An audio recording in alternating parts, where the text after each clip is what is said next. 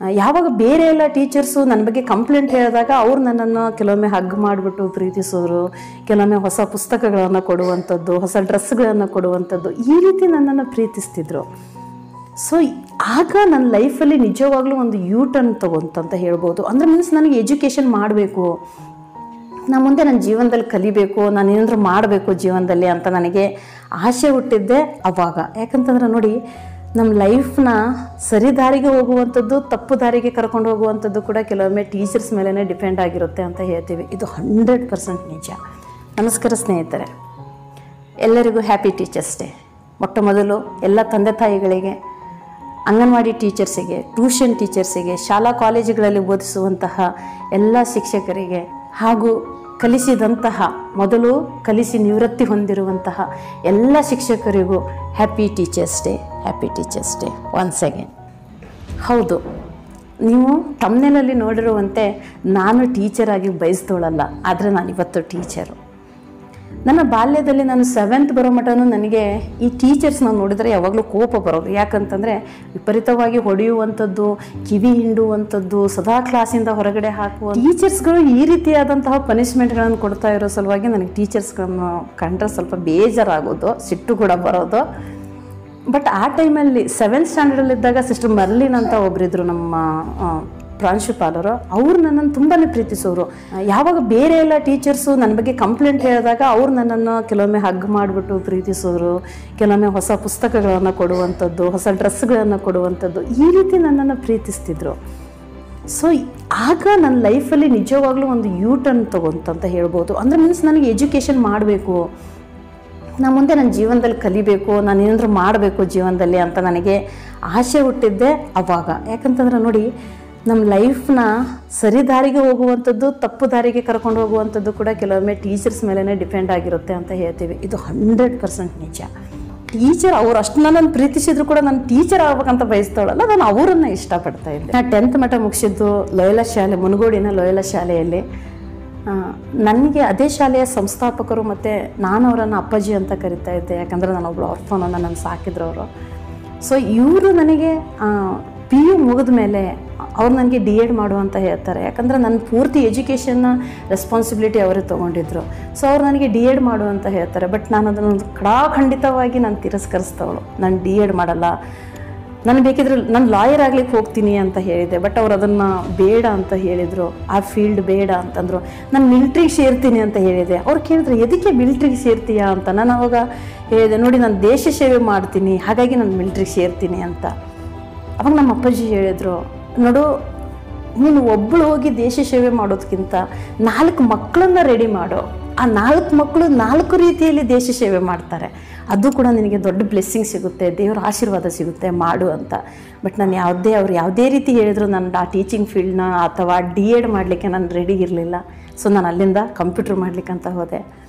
Computer course ಮುಗಿಸಿ ನಾನು ಹೊರಗಡೆ ಬರ್ತಿರ್ಬೇಕಾದ್ರೆ ನನಗೆ ಕಲಿಸ್ತಾ ಇದ್ದಿರುವಂತಹ ಶಿಕ್ಷಕಿ ಟೀಚರು ಸಣ್ಣ ಪಾಪು ಇತ್ತು, ಸ್ವಲ್ಪ ಕಾರಣಾಂತರಗಳಿಂದ ಅವ್ರು ರಿಸೈನ್ ಮಾಡಿದರು. ನನಗೆ ಅಲ್ಲಿ ಕೂಡ ಹೊನ್ನಾವರದಲ್ಲಿ ಪ್ರತಿಭೋದಯದಲ್ಲಿ ನನಗೆ ಡೈ ಅಲ್ಲಿನ ಡೈರೆಕ್ಟರ್ ನನಗೆ ಪುನಃ ಚಾನ್ಸ್ ಕೊಟ್ಟರು ಆ ಫೀ ಆ ಪೋಸ್ಟ್ನ ನೀನು ಮಾಡ್ಕೊಂಡು ಹೋಗು ಅಂತ. ನಾನಂದೆ, ಯಾಕಂದರೆ ನನಗೆ ಗೊತ್ತು ಆ ಟೀಚರಿಗೆ ನಾವೆಷ್ಟು ಕಾಡಿಸ್ತಿದ್ವಿ ಅನ್ನುವಂಥದ್ದು. ಸೊ ಹಾಗಾಗಿ ನನಗೆ ಆ ಫೀಲ್ಡ್ ಬೇಡ ಆಗಿತ್ತು. ಸೊ ನಾನು ಪುನಃ ಹೇಳಿದೆ ನನಗೆ ಇಷ್ಟ ಇಲ್ಲ ಟೀಚರ್ ಆಗಲಿಕ್ಕೆ ಅಂದ್ಬಿಟ್ಟು. ಸೊ ಅದಾದ್ಮೇಲೆ ನಾನು ಬೆಂಗಳೂರಿಗೆ ಬೆಂಗಳೂರಿಗೆ ಹೋದಾಗ ನಮ್ಮ ಅಮ್ಮ ಅಲ್ಲಿ ವಾರ್ಡನ್ ಕೆಲಸ ಆಗಿ ಮಾಡ್ತಾ ಇದ್ರು. ಪುನಃ ನಾನು ಅಲ್ಲೂ ಕೂಡ ಚಿಕ್ಕ ಮಕ್ಕಳಿಗೆ ಟ್ಯೂಷನ್ ಹೇಳಬೇಕಾಗ್ತಿತ್ತು. ಸಾಯಂಕಾಲ ಹಾಸ್ಟೆಲಲ್ಲಿ ಅವ್ರು ಬಂದ ಮೇಲೆ ನಾನು ಅವರಿಗೆಲ್ಲ ಕಲಿಸ್ಬೇಕಾಗ್ತಿತ್ತು. ನನಗೆ ಅಲ್ಲಿ ಕೂಡ ಕೆಲವೇ ತಿಂಗಳುಗಳ ಕಾಲ ಕೆಲಸ ಮಾಡಿದ ಪುನಃ ಅಲ್ಲಿಂದ ಬಿಟ್ಟು ನಾನು ಬೇರೆ ಕಡೆ ಹೋದೆ. ಅದಾದಮೇಲೆ ಮದುವೆ ಆಯಿತು. ಮದುವೆ ಆದಮೇಲೆ ಆಫೀಸ್ಗಳಲ್ಲೆಲ್ಲ ಕೆಲಸ ಮಾಡ್ಬೇಕಾರೆ eight to nine hours duty ಮಾಡುವಂಥದ್ದು ರಜೆ ಇರ್ತಾ ಇರಲಿಲ್ಲ. ಕೇವಲ ಹದಿನೈದು ದಿವಸ ರಜೆ ಹದಿನೈದು ದಿವಸ ನಾನು ಡ್ಯೂಟಿ ಮಾಡಿದರೆ ಹದಿನೈದು ದಿವಸ ನನ್ನ ರಜೆ ಇರ್ತಿತ್ತು. ಸೊ ಆವಾಗಲೂ ಕೂಡ ಮತ್ತೊಮ್ಮೆ ನನಗೆ ಆ ದೇವರ ಕರೆ ಇತ್ತೇನೋ ಗೊತ್ತಿಲ್ಲ. ಪುನಃ ಮತ್ತೊಮ್ಮೆ ನನಗೆ ಆಪರ್ಚುನಿಟಿ ಸಿಕ್ತು ಸ್ಕೂಲಲ್ಲಿ ಕೆಲಸ ಮಾಡಲಿಕ್ಕೆ. ಈ ಟೈಮಲ್ಲಿ ನಾನು ಚಾಲೆಂಜ್ ಆಗಿ ತೊಗೊಂಡೆ. ನೋಡೋಣ ಟ್ರೈ ಮಾಡೋಣ ಸ್ಕೂಲಲ್ಲಿ ಏನು ದೊಡ್ಡ ಮಹಾನು ಒಂದು ಕ್ಲಾಸಲ್ಲಿ ಇಂತಿಷ್ಟು ಮಕ್ಕಳಿದ್ದಿರ್ತಾರೆ ಕಲಿಸ್ಕೊಂಡು ಹೋಗೋಣ ಅಂತ. ಬಟ್ ನನಗೆ ಯಾವಾಗ ನಿಜವಾಗ್ಲೂ ಕ್ಲಾಸಿಗೆ ಹೋದ್ನೋ, ನನಗೆ ಅಪಾಯಿಂಟ್ಮೆಂಟ್ ಮಾಡಿಕೊಂಡಿದ್ದೆ ಆ್ಯಸ್ ಎ ಕಂಪ್ಯೂಟರ್ ಟೀಚರು ನನಗೆ one to tenth standard class ಕೊಟ್ಟಿದ್ದರು ಒಂದೊಂದು ಕ್ಲಾಸಲ್ಲಿ ಸಿಕ್ಸ್ಟಿ ಟು ಸೆವೆಂಟಿ ಮೆಂಬರ್ಸ್ ಸಣ್ಣ ಮಕ್ಕಳು ಪ್ರೈಮರಿ ಮತ್ತು ಹೈಸ್ಕೂಲು ಪ್ರೈಮರಿಗೆ ಹೋದಾಗ ಒಂಥರ ಡಿಫ್ರೆಂಟ್ ಫೀಲು ಏನು? ಮಕ್ಳು ಯಾವಾಗಲೂ ನನ್ನ ಮಾತೆ ಕೇಳ್ತಾ ಇರಲಿಲ್ಲ. ನನ್ನ ಕ್ಲಾಸಿಗೆ ಕ್ಲಾಸಲ್ಲಿ ಒಬ್ಬರು ಟೀಚರ್ ಇದ್ದಾರೆ ಅನ್ನುವಂಥದ್ದು ಮಕ್ಳಿಗೆ ಗೊತ್ತಿರಲಿಲ್ಲ. ಅಷ್ಟು ಗಲಾಟೆ ಮಾಡೋರು. ಟೀಚರ್ ಟೀಚರ್ ಟೀಚರ್ ಅನ್ನೋದು ಇವರಿಗೆ ಸಮಾಧಾನ ಮಾಡೋ ಮಟ್ಟ, ಇನ್ನೊಂದು ಮಗು ಅಳೋದು, ಅವ್ರಿಗೆ ಸಮಾಧಾನ ಮಾಡೋ ಮಟ್ಟ, ಇನ್ನೊಂದು ನಾನು ಮನೆಗೆ ಹೋಗ್ತೀನಿ ಅಂತ ಓಡ್ತಾವೆ ಅದೇ ರೀತಿ ಹೈಸ್ಕೂಲಿಗೆ ಹೋದಾಗ ಅದೊಂಥರ ಡಿಫ್ರೆಂಟ್ ಫೀಲಿಂಗ್ ಅವ್ರು ತಮ್ಮ ಪಾಡಿಗೆ ತಾವು ಮಾತಾಡ್ಕೊತ ಕೂತ್ಕೊಂಡ್ಬಿಡೋರು. ರೆಸ್ಪೆಕ್ಟ್ ಇರಲಿಲ್ಲ. ಇವೆಲ್ಲ ನೋಡಿದಾಗ ಅಪ್ಪ ಯಾಕಪ್ಪ ಈ ಫೀಲ್ಡ್ನ ಪುನಃ ಆರಿಸ್ಕೊಂಡ್ಬಿಟ್ಟೆ ನಾನು ಪುನಃ ತಪ್ಪು ಮಾಡಿಬಿಟ್ಟೆ ನನ್ನ ಲೈಫಲ್ಲಿ ಅನಿಸ್ಬಿಡ್ತಾ ಇತ್ತು ನನಗೆ. ಬಟ್ ನಾನು ಅಂದ್ಕೊಂಡೆ ಇಲ್ಲ, ಏನೋ ಮಜಾ ಇದೆ. ಈ ಫೀಲ್ಡಲ್ಲಿ ಏನೋ ಸುಖ ಇದೆ, ಏನೋ ತೃಪ್ತಿ ಇದೆ. ನಾನು ಇದನ್ನು, ನಾನು ಮಕ್ಕಳನ್ನು ಪ್ರೀತಿಸಬೇಕು ಮಕ್ಕಳು ನನ್ನನ್ನು ಪ್ರೀತಿಸುವಂಗೆ ನಾನು ಮಾಡ್ಕೋಬೇಕು ಅಂತ. ಸೊ ನನ್ನ ಮಕ್ಕಳನ್ನು ಪ್ರೀತಿಸ್ಲಿಕ್ಕೆ ಚಾಲೂ ಮಾಡಿದೆ. ನನ್ನ ನನಗೆ ಸಿಟ್ಟು ಬರ್ತಿತ್ತು ಮಕ್ಕಳು ಆ ರೀತಿ ಮಾಡ್ತಾ ಇದ್ದಾಗ ಎಲ್ಲ ಮಾಡ್ತಾರೆ ಬಟ್ ನನ್ನ ಮಕ್ಕಳನ್ನು ಪ್ರೀತಿಸ್ಲಿಕ್ಕೆ ಚಾಲೂ ಮಾಡಿದೆ. ನನ್ನ ಕ್ಲಾಸಿಗೆಲ್ಲ ಹೋದಾಗ ಐ ಲವ್ ಯು ಚಿಲ್ಡ್ರನ್ ಅಂತ ಹೇಳುವಂಥ ಅಭ್ಯಾಸ ಬೆಳೆಸ್ಕೊಂಡೆ. ಯಾವಾಗ ಈ ರೀತಿ ಮಾಡ್ಲಿಕ್ಕೆ ಚಾಲೂ ಮಾಡಿದ್ನೋ ಮಕ್ಕಳು ನನ್ನನ್ನು ಆಟೋಮೆಟಿಕ್ಲಾಗಿ ಪ್ರೀತಿಸ್ಲಿಕ್ಕೆ ಚಾಲೂ ಮಾಡಿದ್ರು. ಈಗ ಯಾವ ರೀತಿ ಸಿಟ್ಯುವೇಶನಿಗೆ ನಾನೀಗ ಫಿಫ್ತಿಗೆ ಇ ವಿ ಎಸ್ ಎಲ್ಲ ತಗೋತೀನಿ ಬಟ್ ಯಾವ ರೀತಿ ಸಿಟ್ಯುವೇಶನ್ ಇರುತ್ತಂತಂದರೆ ನನ್ನ ಸಬ್ಜೆಕ್ಟ್ ಅಂತಂದರೆ ಮಕ್ಕಳಿಗೆ ತುಂಬಾ ಖುಷಿ. ನಾನು ಕ್ಲಾಸಿಗೆ ಹೋಗ್ತಿದ್ದೀನಿ ಅಂತಂದರೆ ನಾನು ಹೋಗ್ತಿದ್ದೀನಿ ಕ್ಲಾಸಿಗೆ ಬರ್ತಿದ್ದಾರೆ ಟೀಚರ್ ಬರ್ತಿದ್ದಾರೆ ಅಂದರೆ ಮಕ್ಕಳು ಖುಷಿಯಾಗಿರ್ತಾರೆ.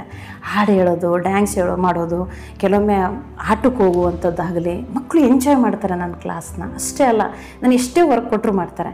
ಕೆಲವೊಮ್ಮೆ ನನಗೆ ಆರಾಮಿಲ್ಲದೆ ನಾನು ಆರಾಮಿಲ್ಲದೆ ಇದ್ದಾಗ ನಾನು ಕ್ಲಾಸಿಗೆ ಹೋದಾಗ ಮಕ್ಕಳು ಬಂದು ಕೇಳೋದು, ಟೀಚರ್ ಎದಕ್ಕೆ ಬಂದ್ರಿ ಕ್ಲಾಸಿಗೆ ಆರಾಮಿಲ್ಲ ತಾನೇ? ರಜೆ ರೆಸ್ಟ್ ಮಾಡ್ಬೇಕು ನೀವು, ಮನೇಲಿ ರೆಸ್ಟ್ ಮಾಡಬೇಕು. ಹಾಂ, ಸರಿ, ಈಗ ನೀವು ಸುಮ್ಮನೆ ಕುತ್ಕೊಂಡ್ಬಿಡಿ, ನಾವು ಬರಿತೀವಿ. ನೀವು ಎಷ್ಟು ಸಲ ಬರೀಬೇಕು? ಫೈವ್ ಫೈವ್ ಟೈಮ್ ಬರಿಬೇಕಾ? Question answer five time ಬರಿಬೇಕಾ? Fill the blanks five time ಬರಿಬೇಕಾ? ನಾವು ಬರ್ಕೋತೀವಿ, ಟೀಚರ್, ನೀವು ರೆಸ್ಟ್ ಮಾಡಿ. ಅಂತ. ಸಿ ಆ ಫೀಲ್ ಇದೆ ಅಲ್ಲ, ಆ ಖುಷಿ ಇದೆ ಅಲ್ಲ ನಿಜವಾಗ್ಲೂ ಸ್ನೇಹಿತರೆ, ಬೇರೆ ಯಾವ ಫೀಲ್ಡಲ್ಲೂ ಸಿಗಲ್ಲ. ಕೆಲವೊಮ್ಮೆ ನಮ್ಮ ಮನೆಯಲ್ಲಿ ನಮ್ಮ ಮಕ್ಕಳಿಂದ ನಮ್ಗೆ ಅಷ್ಟು ಪ್ರೀತಿ ಸಿಗಲ್ಲ.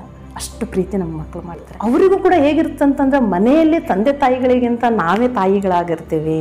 ನಾವೇ ಅವ್ರ ಪ್ರತಿಯೊಂದು ಗುರುನೂ ನಾವೇ, ತಾಯಿನೂ ನಾವೇ ಆಗಿರ್ತೀವಿ. ಸೊ ನಾನು ಹೇಳುವಂಥದ್ದು ಎಷ್ಟೇ ಸ್ನೇಹಿತರೆ.